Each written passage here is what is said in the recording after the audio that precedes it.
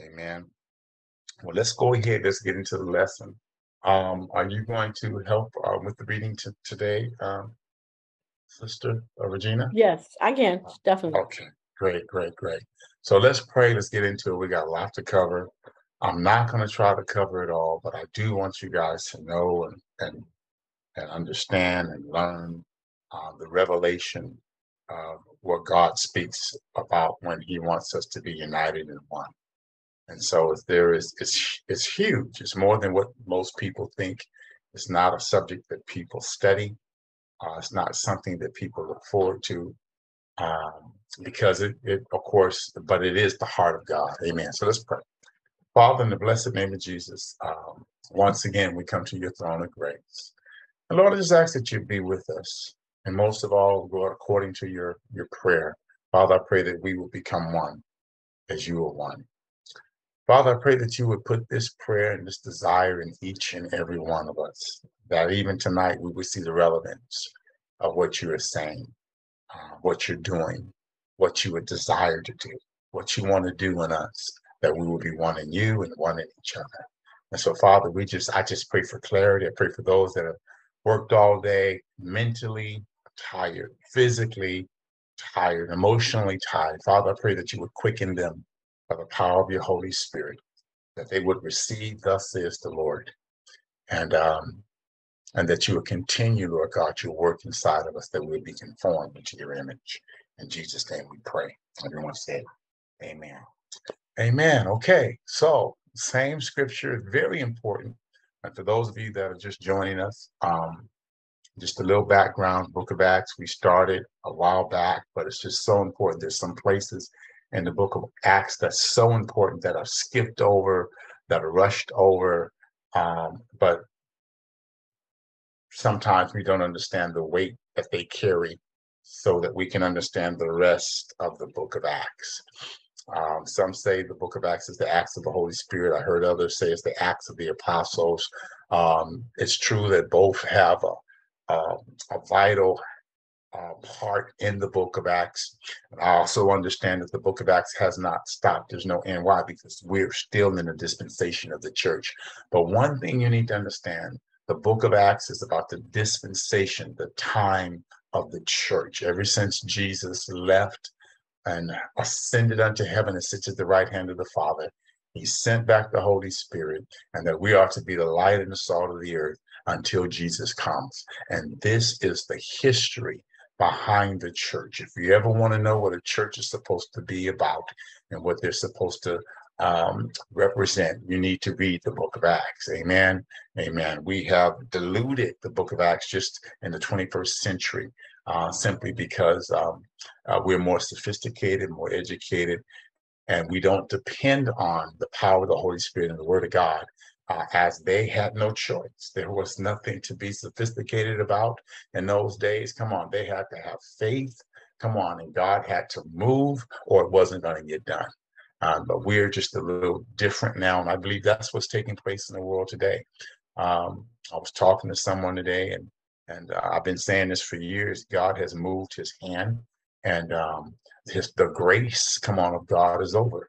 Uh, there now, I don't know if you heard on the news, but there's now a seaweed uh, that is now coming up on shores of beautiful beaches around the world, and it's poisoning the fish.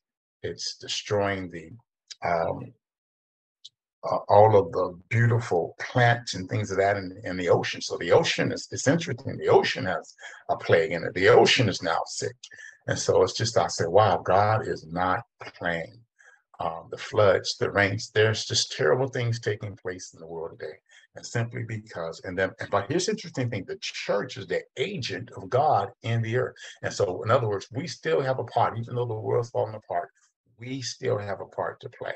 And so it's really important that we understand and that we know um, the book of Acts and what it's all about. So we're going to go ahead and we're going to start reading here at Acts chapter 4, verses 32 to 37.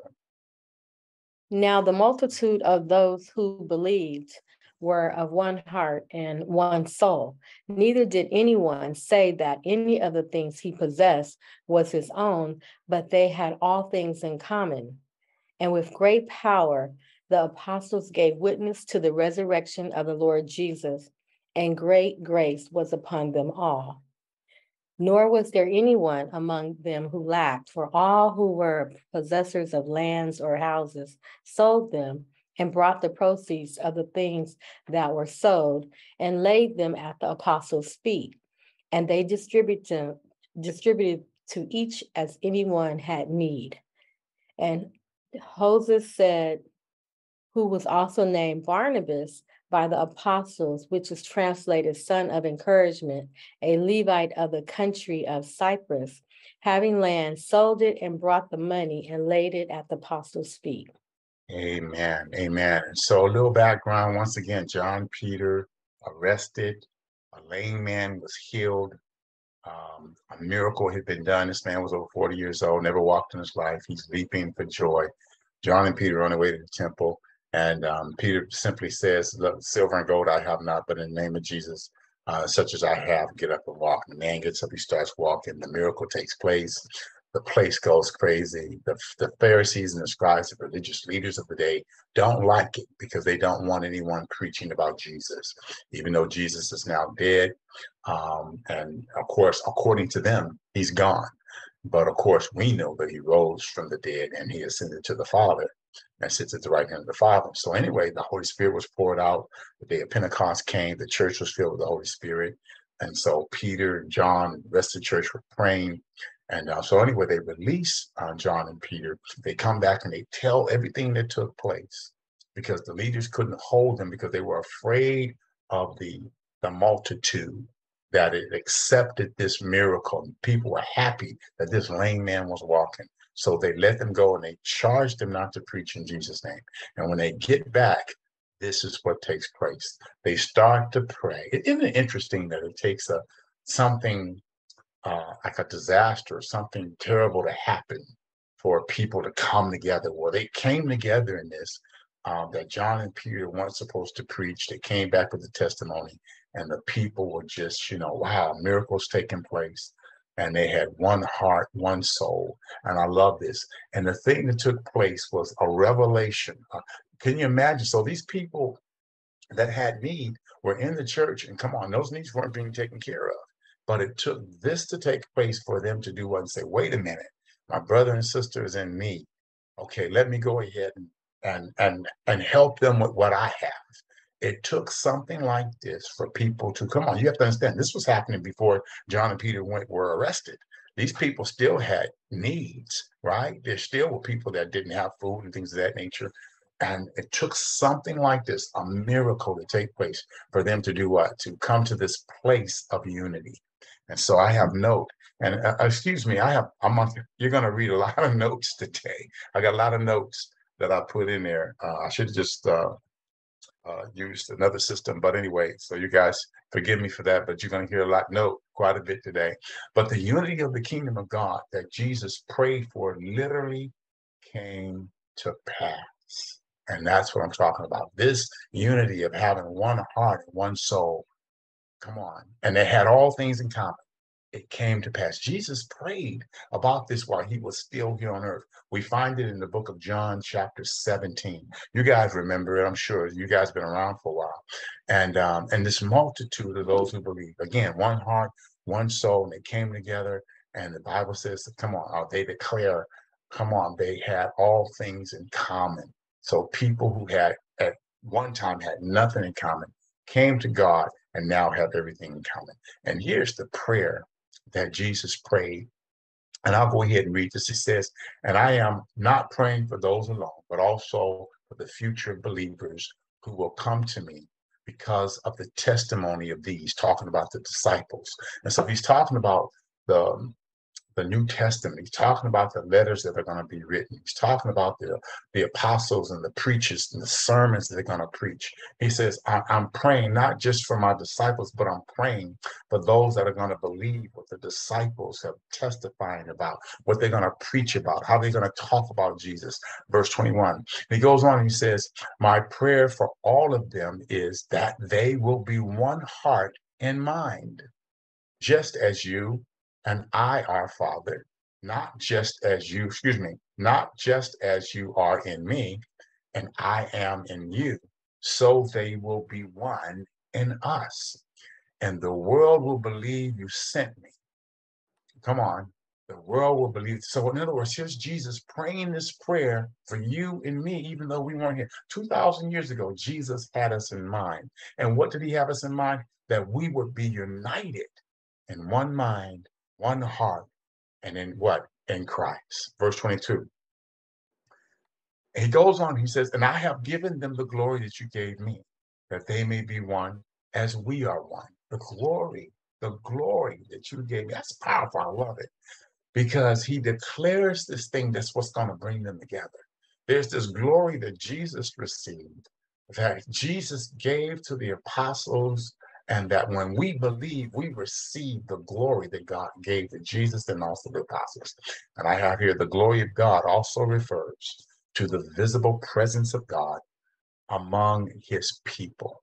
And so, in other words, there's a there's all kinds of glories, and that's a whole nother subject. But this glory that he was talking about was manifestational. It was it was visible. It was it would it would manifest itself through his people. And so he goes on and says, and here's this glory, which is his love and his righteousness, manifested the power of the Holy Spirit. So that's the glory that Jesus was talking about. So now I want you to read uh, Second Corinthians chapter 3, verse 18. But we all, with unveiled face, beholding as in a mirror of the glory of the Lord, are being transformed into the same image from glory to glory, just as by the Spirit of the Lord.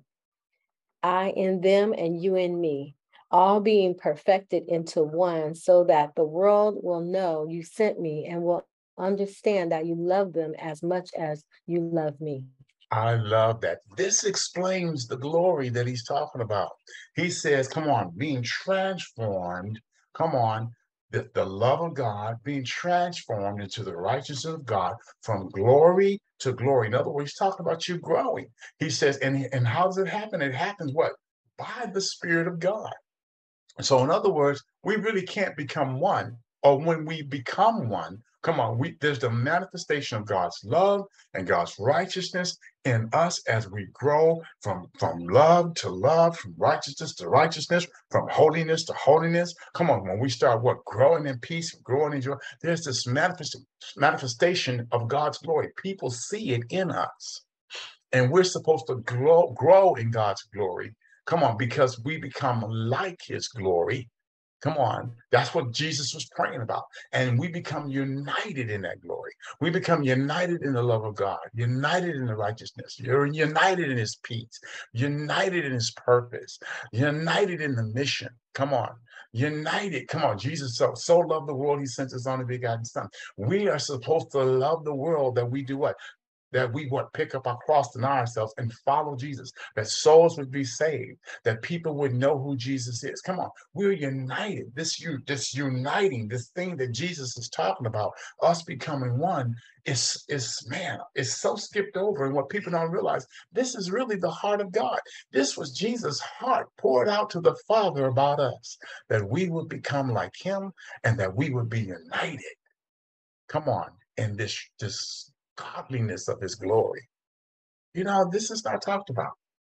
This is this is powerful. And it's something that's so overmissed because of so so much of our lives are spent on and uh, you know we live in some hard times no doubt but so much of our life is just spent on surviving trying to make it trying to get to this from point a to point b and um but jesus had something else in mind that I believe the church has neglected over the years. We've just neglected this. I want to I want to share this with you. And this uh, this came to me, and I just love it when the Lord just gives me revelation and He kind of completes a picture. This is just a complete picture of a, of a person. Number one, Jesus saves you, and He delivers you from the penalty of sin. Number one. So when you get saved, you accept Jesus Christ as your Lord and Savior. Come on, Jesus saves your soul. Your name is written in the Lamb Book of Life. He seals you with to the day of redemption. Come on. And when you die, you go to heaven. Jesus also heals you. So Jesus doesn't just save you.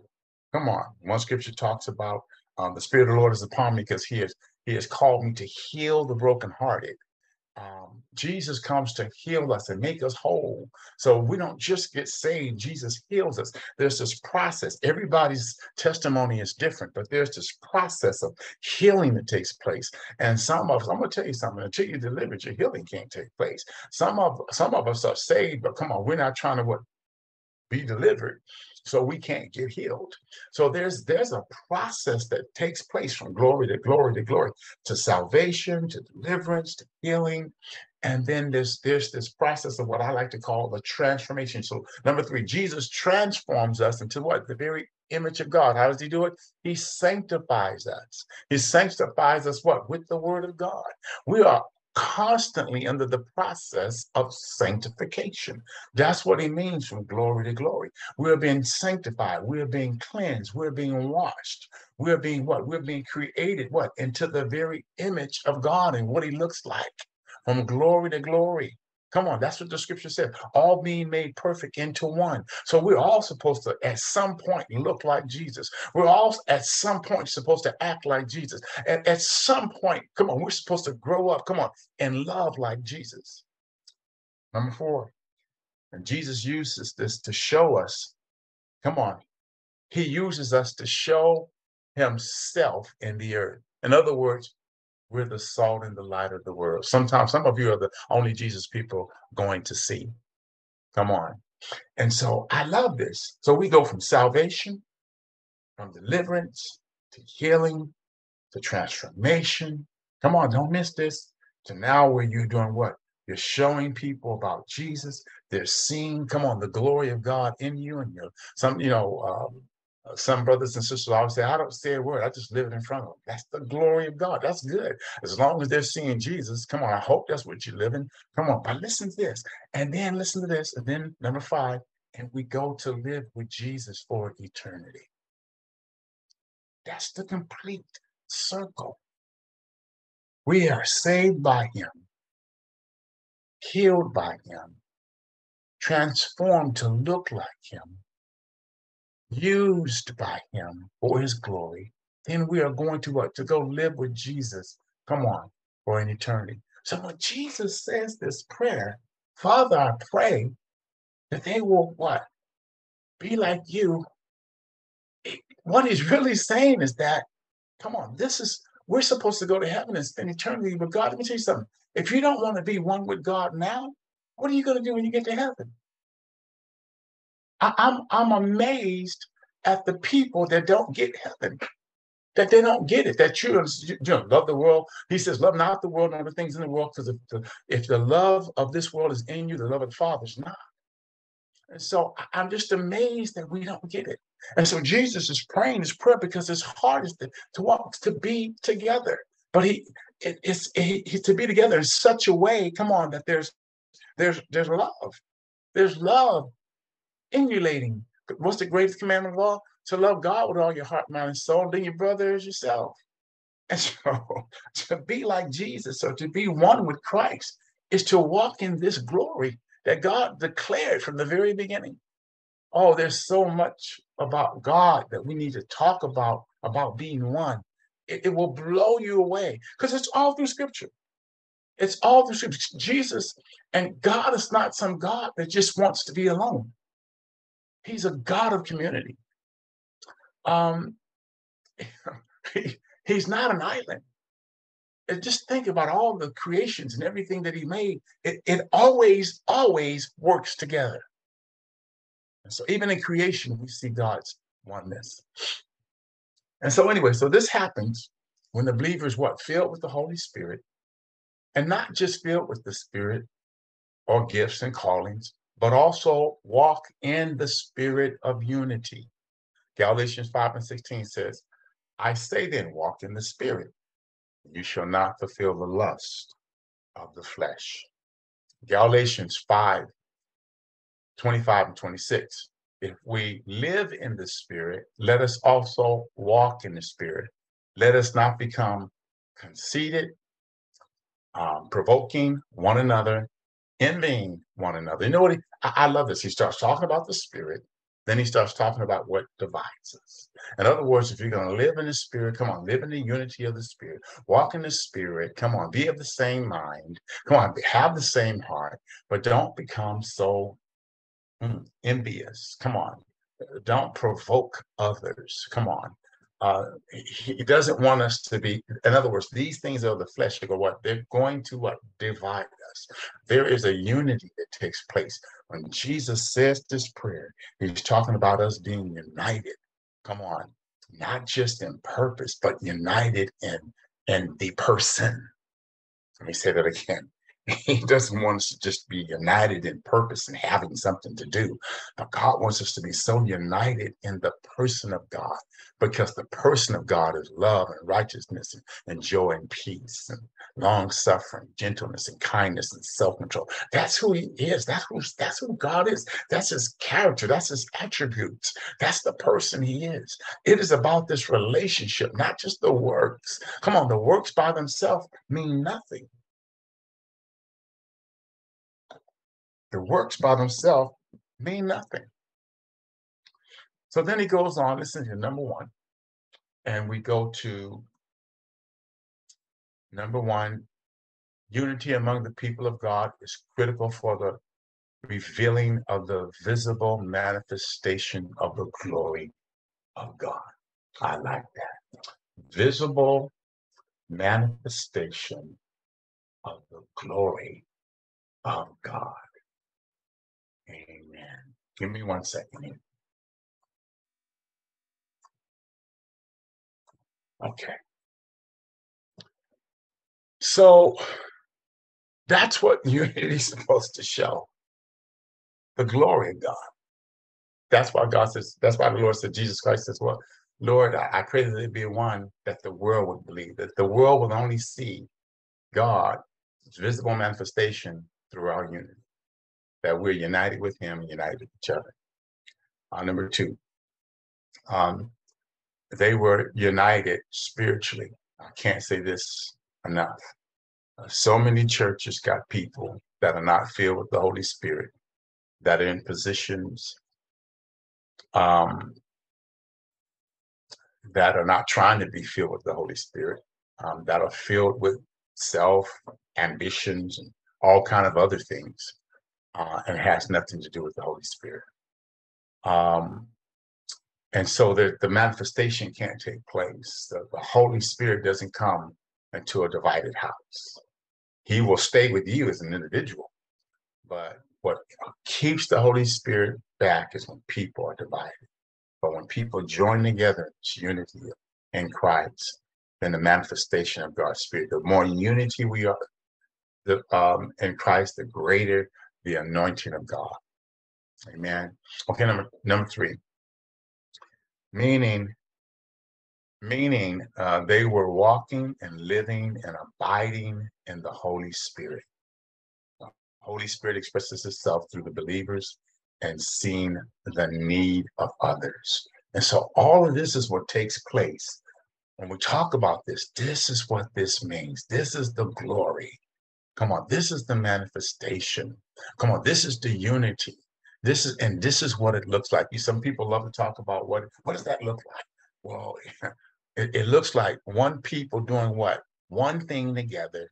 Come on, to help other people and and and recognizing that look, what we have in common is that we are human beings created by God. Come on, to give God glory. Um, we have a short time here, and we need to show each other love because he loved us. That's what it looks like to have one heart. That's what it looks like. We and we think alike. And it's not just about me, it's about us. That's what it looks like. Amen. And when there is disunity, the Holy Spirit is quenched, and there is no activity of the unity working in the Holy Spirit. First Thessalonians 5 and 19 says, Do not what? Quench the Holy Spirit. What does the word quench mean? It means to extinguish, to put out. You, you know, you ever have someone just puts out, you know, there's a party going on and they just, you know, just, they're just a joy killer. you know, you, you ever have that joy killer just come in the room, just kill the joy for no reason at all. Now, don't get me wrong. If something's going on, come on, people need to get your attention. I, I get, come on, stop the party, stop the record. Stop, I, I get that. But I mean, for no reason at all, they're just joy killers. Come on, quench the Holy Spirit. Come on, amen. Okay, Ephesians 4 and 3 says it like this endeavoring to keep the unity of the Spirit and the bond of peace. It is work. We have to, doesn't mean we're never going to face, come on, our flesh or somebody else's flesh or some some disagreement or something we can't come on. We don't see eye to eye on. But it means that, come on, we are purposely supposed to understand that it's not what divides us, it's what keeps us, it's what unites us. And come on, and if we have a disagreement, we should, we're supposed to work through it. And at the end of the decision, come on, there's nothing better. No one's no one's right, no one's wrong. You know what? Let's squash it. Come on. We need to be united. That is so, so important. Endeavoring meaning to strive, attempt, undertake, to labor, to work at. Come on, to keep that unity so that glory can stay there. No, to make it plain, crucify the flesh. Amen. I should have put crucify your flesh because the truth is, is that what, what always divides us and what always quenches the Holy Spirit is somebody's carnality and somebody's flesh. They get caught up in themselves Come on, it's about them. It's about their opinion. They have to be right. They have to be seen. They have to let somebody know. Come on, they're offended. They're hurt. They're sensitive, overly sensitive, because they don't want anybody to see them in this this light. You can't talk to me like that. There's so many things uh, that the flesh is what is is offended by and that's that's the person sometimes for themselves. They got to tell you. They have to tell you about yourself. Okay, here we go. Sins of the brother. And we talked about this last uh, last week, but this is worth going back over again. Matthew chapter 18, verse 15. And moreover, if your brother does what? Sin against you, go tell him his faults. That's a good one. Uh, between you and him alone. And if he hears you, you've gained your brother. And I, I know, I love this. I love this. It's something really to, to put, to renew your mind set with. Somebody does something, just go sit down, say, brother, you know what? You really hurt me. Let me tell you what what, what happened. Because I, I, I honestly believe 90% of the time, people don't have ill intentions. I really believe that with all my heart. You, you may not, okay, whatever. We, we may not agree on that. But I just believe sometimes people do things out of hurt, out of pain, out of ignorance, out of um, um, they don't understand that or sometimes I will say things and not realizing what I said or how I said it or oh did I say that? You know because I got so much on my mind. I, I, I, thought I said this but my mouth said something else. And I really don't believe um, and but people get hurt and it's really interesting. Sometimes you don't even know they're hurt. You don't even know they're bothered. Oh, oh I didn't know. You, you should have said something. And sometimes people don't do it. So here's Jesus teaching us how to keep the unity in the faith so the objective is to gain your brother and to keep the unity of the spirit. Again, Ephesians chapter 4, verse 3, endeavoring to keep the unity of the spirit in the bond of peace is something notable. You need to notice anytime something happens, come on, uh, fellowship has been broken. Oh, that's a good one. Come on, because you don't want fellowship. You don't want authentic, real fellowship to be broken. But what people will do is they'll just keep their distance. I ain't gonna mess with you no more. You know, I'm not gonna speak to you. I'm gonna act like you're not there. I'm not gonna. I'm not gonna be real with you. I'm not gonna let my guard down. Um, but that's not the unity of the spirit. You know, the unity of the spirit is that you forgive each other. Sometimes you need to just forgive a person if they don't they don't know any better. You just need to forgive them, especially if you recognize it. They just don't know any better. Okay, 16 and 17. But if you will not hear, take with you one or two more, that by the mouth of two or three witnesses, every word may be established. You have to pick very wisely. You can't pick your friends, can't pick your sister, your brother, because you like them and you know they're going to agree with you. You have to really pray and be wise. Usually, your pastor and ministers or elders of the church usually, not all the time. Sometimes people have t- titles, but not maturity. Um, usually, um, you can um, tap into that resource that you have in the body of Christ. 17, he goes on, he says, and if they refuse to hear them, tell it to the church. But if he refused to even hear the church, then let him be like a heathen and a tax collector. I, I, this is powerful. And we talked about this last week, and we talked about how churches don't really practice this truth. They don't really practice this commandment of God. And, and so we suffer from it. And so, no, God places the unity of the church at such a high priority that anyone who comes against this unity must physically be put out of the church, physically removed. This is Jesus talking. This is Jesus, the head of the church, the one that came and died for the church, the one that, come on, the one who has the authority and the power, the one who the church is been birthed in, sanctified by, in Jesus' name. That's who said this. This is not, this is not, this is not someone with you to have an opinion about. This is the word of God. We talked about the authority of God's word uh, Sunday. And we just tapped on a little bit of the authority. But this is Jesus talking. And um, in other words, he wants, come on, unity so bad that any bad apple has to go. Man. And if this was practiced in churches today, you may not have a lot, you might lose a lot of people because everybody's going to see it as wrong. And I thought God was love, but you don't know your, you don't know the Bible. Uh, there's a lot of thinking without knowing. and so, but God does this. He is the one who has the wisdom. He's the one that knows. And if we pay the price, come on, then we'll reap the harvest. Verse 18. But surely, he says, I say to you, whatever, here we go, whatever you bind on earth. What is he talking about? Binding of this, this relationship or this, this, this person that's discord inside of the church, whatever you're bind, you know, that thing has to be bound. Right? He says, I'm gonna bind it in heaven. In other words, I'll stop the evil spirits from doing what? Doing what they're doing right now. He says, and whatever you loose on earth, come on, I will loose in heaven. Hallelujah. Come on, when you start, come on, acting, come on, uh, following the righteousness of God, according to God, I will back you up in heaven. I will bind and loosen all that's wrong, all that's not right, all that's not of the kingdom, all that's not of God. That's really what that scripture is talking about. We we bind and loosen so many things. I laugh as sometimes I hear people praying about binding and loosing personal stuff that has nothing to do with the kingdom of God, just your unhappy feelings about what's going on in your life at the time. And so he goes on, that's what this is talking about. No, binding and loosing is for the unity of the kingdom. Come on, first and foremost. I'm not saying that God won't do other things. I'm just saying this is the the wisdom behind the scripture. 19.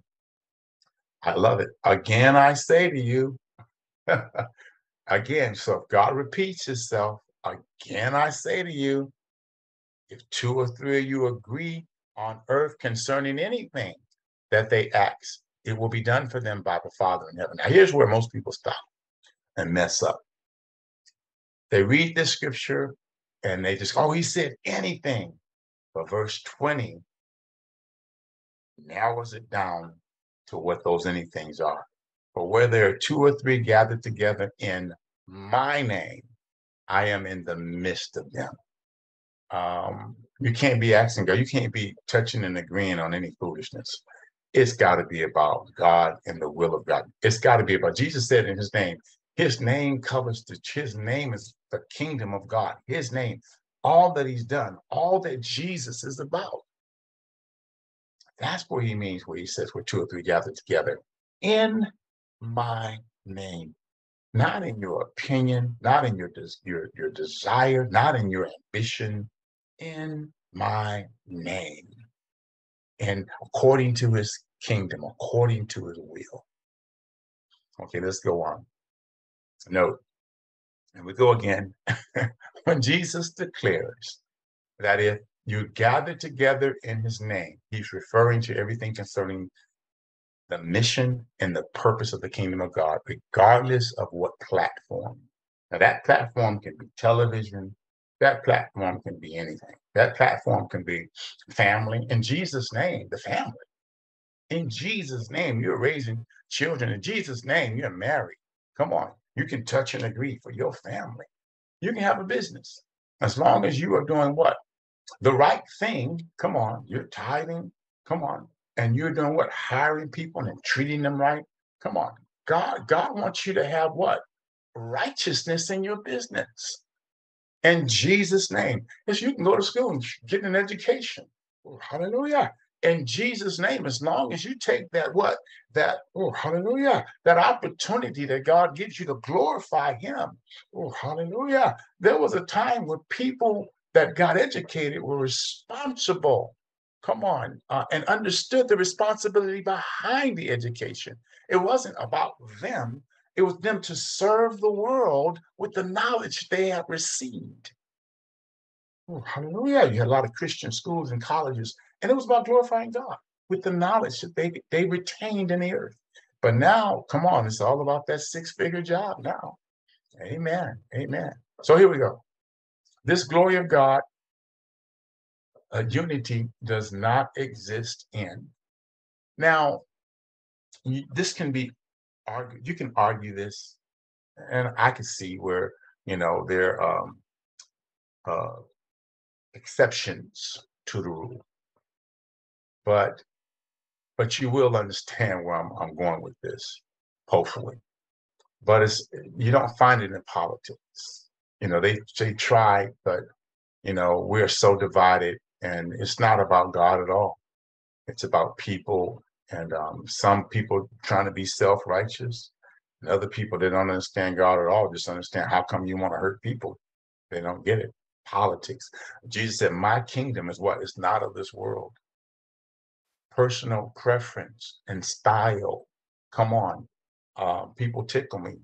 You know, when we stopped wearing suits and ties, they thought that was great. You know, I, me, me too. I, I, I like that, but it had nothing to do with whether God. Come on, it's, it's your heart.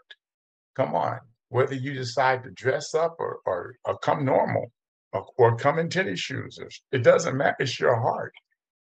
And for us to judge people Come on, that's not the unity. God's not asking us to look the same. Come on, that's not the unity God is looking for. Okay, ethnicity, culture. There's no such thing as a white church and a black church, you know. But yet, every Sunday morning, you know, and, and uh, and, and honestly, that's how we describe it because they like this kind of style of music and they like this kind of style of music.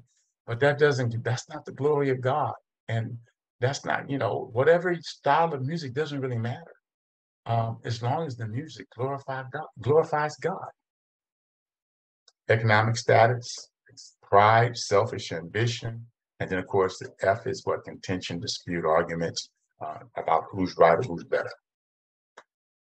Okay, that doesn't just doesn't work. Okay, here we go. So let's try to get some of these. Um, Regina, I'm gonna call you. I'm gonna call on you in a minute. So here we go. So so what unites us? And here are some of the things I want to highlight. And this is what we are united by salvation through Jesus Christ. If you can read Galatians uh, chapter 3, verses 26 and 29. For you are all sons of God through faith in Christ Jesus. For as many of you as were baptized into Christ have put on Christ. There is neither Jew nor Greek, there is neither slave nor free, there is neither male nor female, for you are all one in Christ Jesus. And if you are Christ, then you are Abraham's seed and heirs according to the promise. This, you know, our salvation, number one, off the top, unites us. We're all sons and daughters of God through faith in Jesus Christ. If there's any question you need to ask people, what do you think about Jesus? You know, have you been have you been baptized yet? We got a a friend of ours, a, a sister of ours, uh, came to the church Sunday and um, uh, expressed to me she wants to get baptized. So we're excited. So okay, we're gonna we're gonna baptize her. We'll probably find something hopefully coming up this month, maybe the end of the month, we can baptize her. Um, she's saved. The Lord spoke to her and told her he wants to get baptized uh, again. So, but that's what we have in growth. We're being baptized, the old person, what raising up to newness of life, right? And I love this. Again, we talked about uh, ethnicity, Jew or Greek. He said there's neither. Slave or free, there's neither. What, male or female, there's neither. Come on. If you want to understand the unity, come on. If you want the practical application of the unity, uh, he says, You're all Abraham's uh, seeds. In other words, people of faith and heirs to the promises of God to, that are for all of us. I don't, my promises, oh, hallelujah, are no different than yours. Oh, hallelujah. You have not because you asked out, or maybe you don't believe. I don't know. But the thing is, is that guess what? We're all one. We're all in the same boat. And I love this. And you need to start seeing each other as brothers and sisters in Christ. We need titles because we need to define who we are. You need pastors. People say, oh, you know, all these titles. No, you need those titles because those titles tell the authority that one has. It tells their position and purpose that they have, and it's necessary. But but at the end of the day, even with the title, we're still brothers and sisters in Christ. And that that needs to mean something to you. Amen. We're united by the Holy Spirit. Regina, First Corinthians chapter 12, verse 13. For by one Spirit we were all baptized into one body, whether Jews or Greeks, whether slaves or free, and have all been made to drink into one Spirit. The same Spirit, the Holy Spirit. When you receive Jesus Christ, and the Holy Spirit came to live in your body as the temple of God, that is also considered as a baptism into the body of Christ. You became a part of the body of Christ, the kingdom of God. We are united because we are a part of the kingdom of God. Doesn't matter black, white, come on, rich, poor, come on, Chinese, it doesn't matter. If the Holy Spirit lives in you, come on, then you what? They're a part of the kingdom of God. And I am and you are brothers and sisters in Christ. That's when Jesus said, Verily, I say unto you, you must be born again. If come on, if the Spirit of God is not living in you, you are not born again. If that if you have a question, you're probably not born again because you don't you it's not a feeling. Come on, there's a presence of God in your life that you just cannot deny. It is undeniable. You don't have to jump around, roll around, jump, leap, speak in tongues, but you know the Holy Spirit lives in you. If it's not, then you might want to consider um, finding out why. Okay, we're united by doctrine. First Corinthians 1 and 10, 1 Corinthians 12, 15. Now I plead with you, brethren, by the name of our Lord Jesus Christ, that you all speak the same thing, and that there be no divisions among you, but that you be perfectly joined together in the same mind and in the same judgment. Let me say something real quick. I love this because Paul had the, the hardest time with the Corinthian church. When you read the letter First Corinthians and Second Corinthians, what a mess. These were people that were filled with the Spirit, operating in the gifts, but also operating and walking in carnality. They were immature, babes in Christ. They were selfish. They were their minds had not been renewed. Um, they were people with wealth and used to being treated a certain way. And when the church came together in Corinthians, it was a mess because you had all these so-called leaders that have come with money and wealth and influence coming together into church and continue to operate in that carnality. And so Paul just had the hardest time, come on, dealing with them because they all had opinions. And so he, this letter is for every church. If you want to know the problems you're going to have in church, um, this is it. you want to read it. And I love it. And what does he ask them to do? He, he pleads with them to do what? To speak the same thing. He even says, Look, let there be no division among you, but be perfectly joined together. How? In the same mind and judgment. How are we going to have the same mind and judgment? We've got to what have the same doctrine. We have to read the scriptures. That's why it's so important that we do what? We study the Bible. That's why it's so important. We study the Bible so we can know, learn what it says. Okay, let's go on. Now I say this that each of you says, I am Paul, or I am of Apollos, or I am of Cephas, or I am of Christ. Is Christ divided? Was Paul crucified for you, or were you baptized in the name of Paul? I thank God that I baptized none of you except uh, Crispus and Gaius, lest anyone should say that I had baptized in my own name. It just goes to show you them what he was dealing with. Uh, they were arguing. um, they were staking their case. It was division in the church, and um, and they had their opinions. And one, and they, it was style and preference.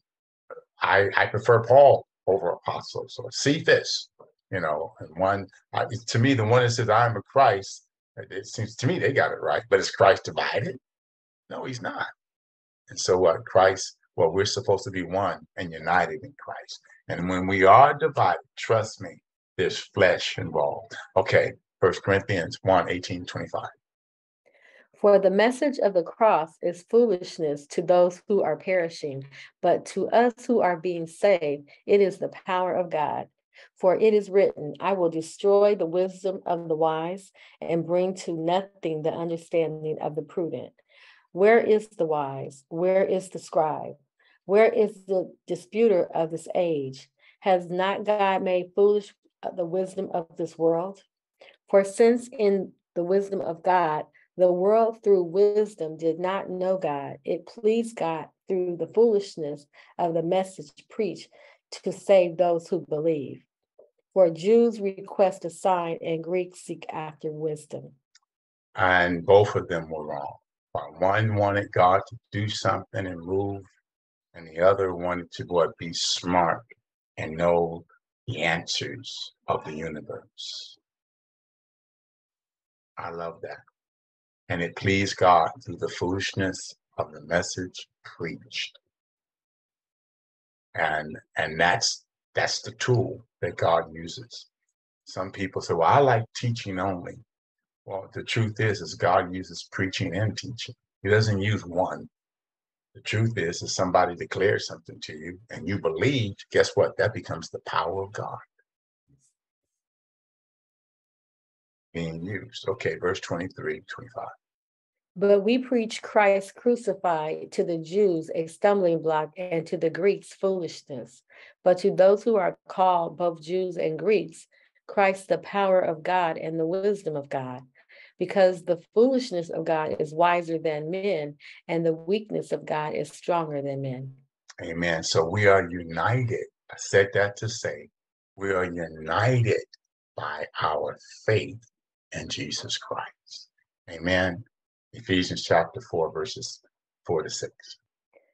There is one body and one spirit, just as you were called in one hope of your calling, one Lord, one faith, one baptism, one God and Father of all, who is above all and through all and in you all. You know, one of the one of the interesting things about church today is churches trying to find a different spend. Um, I even heard this phrase, you know, they don't have our DNA. You know, that's not scriptural. That's setting yourself aside, saying that we do it better. We have something nobody else has. That's not glorifying God. That's setting yourself up for a fall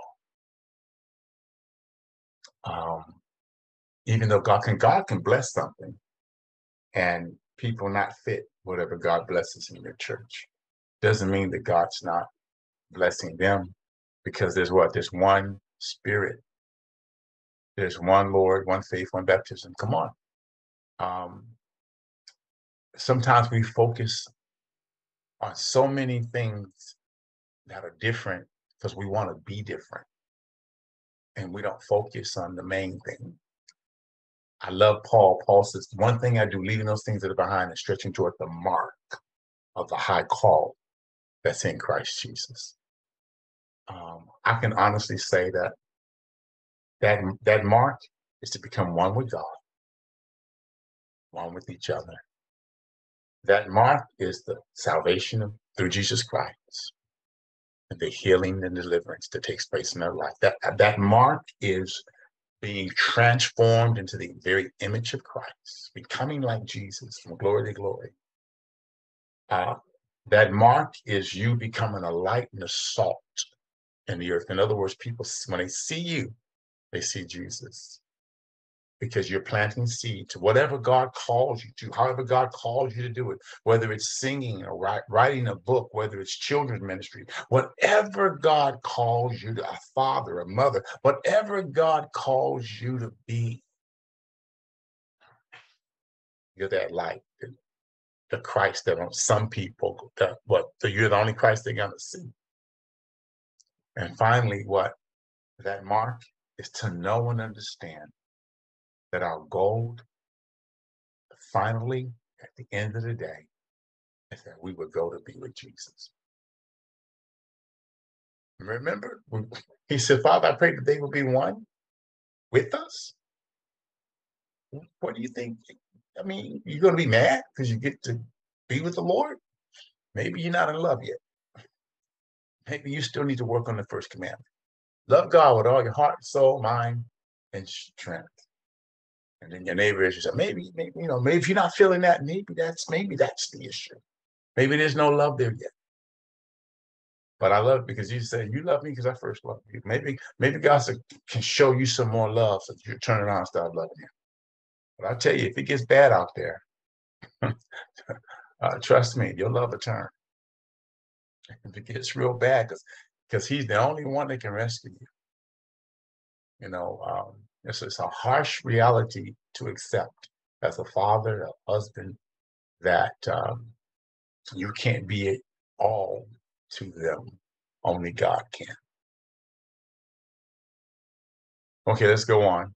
Um, I just want a couple more minutes of your time because this is so powerful. God Himself is the example of unity, so much so that He transforms Himself or He he allows himself to be three people in one person, the Trinity. I just wanted to show you, and it goes on and on and on and on. Uh, God expresses himself as three individuals the Father, the Son, and the Holy Spirit, united together in one person, God. You know, I always used to wonder, man, why the Trinity? I mean, God, this message is so deep. God, this message of, of being united with God, Christ, God says, you know what? I, am going to be one person. I'm going to show you that that that your, your unity is so powerful that you can only see one person, even though I'm three different people. Oh man, that that'll twist. That's a mind twister. Amen. That, that doesn't that does that's impossible. Some people would say. But what God, but, but with God, all things are possible. And God says, I'm three people, but but I'm so united, I'm one. First John 5 and 7 says it like this. There are three that bear witness in heaven, the Father, the Word, and the Holy Spirit. And these three are one. Now, who's the Word? Jesus is the Word. So, how can I be one with God? Through his word. How can I be one with God? Through the Holy Spirit. And what's the goal? The goal is to what? To love God. For all my heart, mind, soul, and strength, to be one. And then to do what? And then to love my brother and my sisters of myself. Now I'm operating in the unity. And I'm operating in, in, in the unity of God. We'll we'll we, will uh, revisit this because our time's up, but let me just say this a couple of things. We're united in creation. We'll talk about that later because it gets deep. Um, we're united as the Trinity or the triune of man body, soul, and spirit. There's a spirit of a united in marriage. We're united in, in the family. We're united in humanity. This thing goes on and on and on. God is not an island. God really wants you to understand that He has not called you to be an island. He's called you to be a community, social. Doesn't mean that you don't need time to yourself. I'm not saying that. I'm just saying you are a part of something greater than yourself. And and man, praise God, you are part of the kingdom of God. Amen. So with that, let me just say a prayer and then um, I'll open it up. And I hope you got something out of this. Kind of went over it again, restructured it a little bit. But I was trying to get to this area last week, but we'll go over this uh, following uh, Wednesday. Just these these other areas that God unites us in, and how He continues to show us that He's a God of community. He's a God of more than just one moving part, and how He wants us to be uh, a part of this this thing that He calls life. So, Father, in the blessed name of Jesus, once again, we come to you. We thank you. We, we bless you. We praise you. Thank you for being a part of our lives and showing us yourself. Thank you for revelation knowledge. Um, as I was praying earlier, oh God, I just pray that uh, that we receive that revelation in our hearts, our minds, and our souls, and that we become even better at um, becoming a one people. There's power in being united. In Jesus' name we pray. Everyone said, Amen. Okay, let me stop sharing.